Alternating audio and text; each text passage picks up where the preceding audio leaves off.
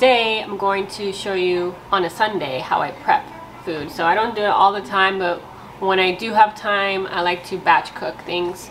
And these things you can make uh, really easily in your home. You don't have to buy them. So I just thought I would show you all the things that I'm going to be making to help my family throughout the week as I work full time and my husband's home and my kids go to school. It's hard um, to cook every night from scratch um, for everybody. We're a family of six, so these recipes are a mix of mine and others, um, but they're my favorite and they're my go-tos, and they definitely help throughout the week.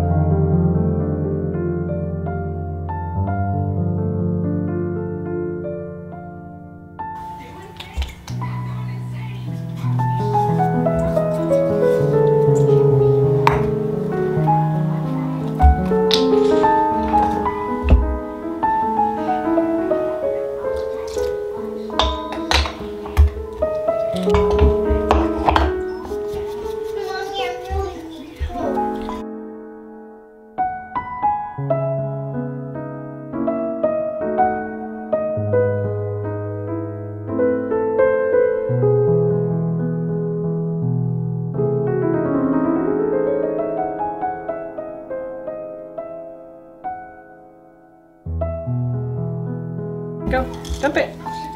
Eh.